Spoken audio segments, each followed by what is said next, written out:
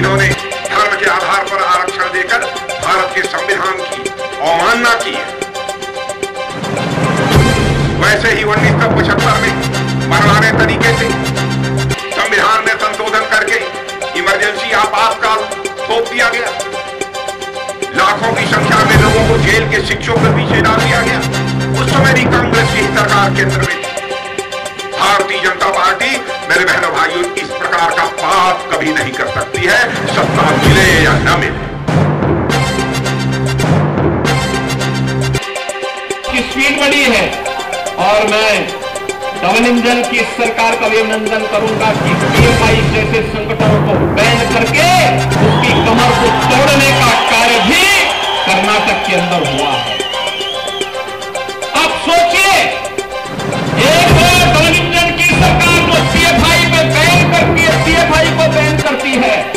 और दूसरी तरफ़ कांग्रेस, जो पीएफआई को तुष्टीकरण करने का कार्य करती है।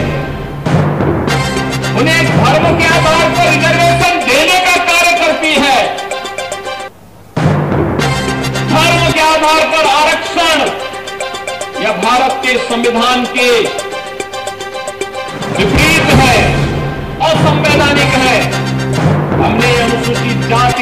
जनजाति के आरक्षण के दायरे को बढ़ाया है। दिव्यांग जनों के आरक्षण के दायरे को बढ़ाया है।